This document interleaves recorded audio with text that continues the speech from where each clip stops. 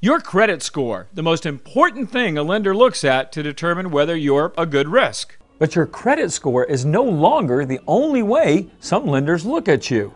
For example, some banks are using new techniques, some pretty darn sneaky, to spy on you. One example your behavior score. A behavior score looks at the money going into and out of your account.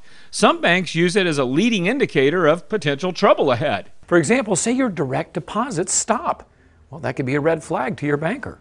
On the other hand, if you're depositing a lot more than you're withdrawing, well, that could be a sign they need to target you for credit. There's nothing in your credit report about your home's value, but that doesn't mean potential lenders can't find it out. Sites like Zillow make it easy, and your mortgage, well, that's public record. So if you're underwater, that's a red flag. And what about your income? That's not in your credit history, but that doesn't mean many credit bureaus can't try to figure it out.